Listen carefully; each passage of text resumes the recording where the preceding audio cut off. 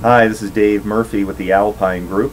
I work with biotech companies to help them fill marketing and business development roles, and I'm currently working with a mid-sized molecular diagnostics firm in the Bay Area to help them hire a senior marketing manager. It's a mixed role of upstream and downstream marketing work, working with tests for infectious disease that are very accurate. Uh, they have no direct competition, and they've been growing revenue in excess of 15% for each of the past four years.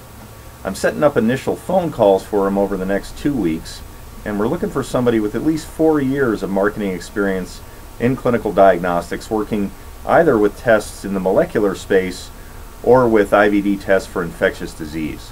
We also need someone with some product launch experience uh, because you'll be doing a great deal of that in this role. So if you or somebody you know is qualified and interested, please send along your resume or referral to me at dave at alpinesearch.net. I appreciate your consideration. Thanks.